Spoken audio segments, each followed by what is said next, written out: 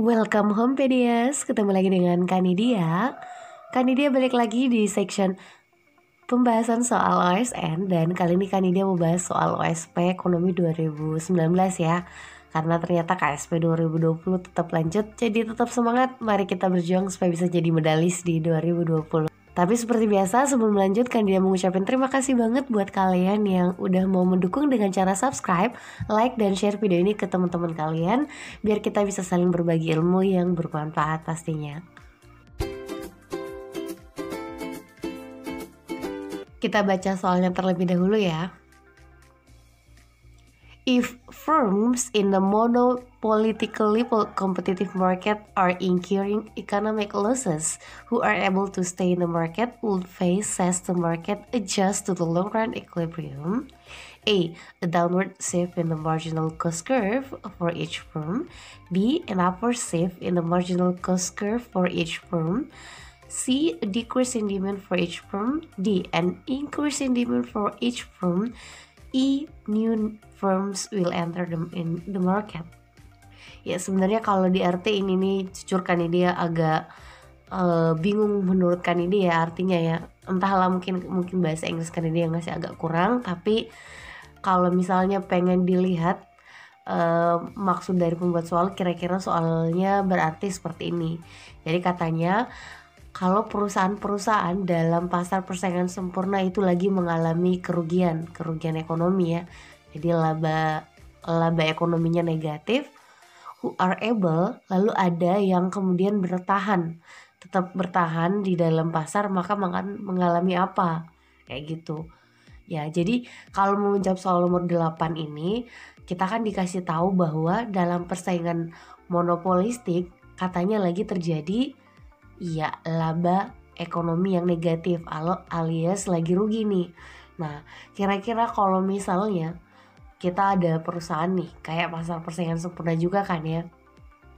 Mereka kan ciri utama dari si monopolistik dan PPS itu adalah mudah masuk dan keluar pasar. Nah, apa sih indikator atau alasan kita mudah banget buat uh, entry dan exit di pasar ini, Kak?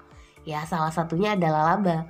Kalau misalnya perusahaan yang uh, ada dalam pasar lagi untung banget, untung banyak banget, kira-kira perusahaan lain semangat gak sih untuk masuk? Ya semangat dong ya. Ih, itu untung deh bisa sampai naik gaji gitu ya. Kita bakal bersemangat juga buat buat buka perusahaan. Tapi kalau misalnya lagi rugi, maka bakal berlaku hal yang sebaliknya. Ih, perusahaannya rugi, kita rugi. Ayo deh kita keluar dari pasar ini ya jadi di pasar monopolistik dan PPS itu sangat mudah kok untuk masuk dan keluar dengan alasan laba atau rugi.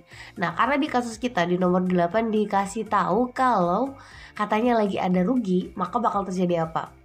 Iya maka bakal terjadi perusahaan itu banyak yang out banyak yang exit dari pasar karena merasa rugi kayak gitu.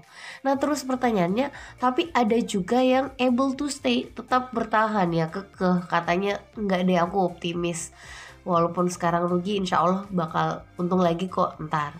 Nah pertanyaannya, si perusahaan yang able to stay, yang firm yang tetap stay di sini bakal mengalami apa nih penyesuaiannya dalam bentuk uh, di pasar bakal mengalami apa? Nah misalnya nih kasusnya kayak gini. Kita kasih contoh aja monopolistik. Contohnya perusahaan eh, makanan kan ya kan itu banyak banget.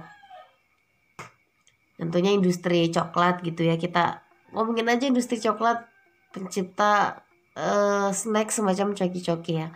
Misalnya kita ngomongnya adalah coki-coki ini nih bisa awalnya ya kalau misalnya kita dikasih tahu ternyata perusahaan yang mampu membuat coki-coki itu anggaplah ya anggap ada 50 perusahaan hmm, kebanyakan ya ya 50 aja.